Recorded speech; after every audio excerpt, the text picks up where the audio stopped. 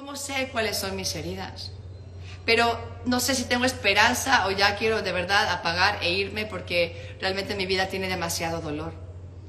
O realmente todo esto que estás diciendo, ¿cómo conecta a mi día a día en lo cotidiano?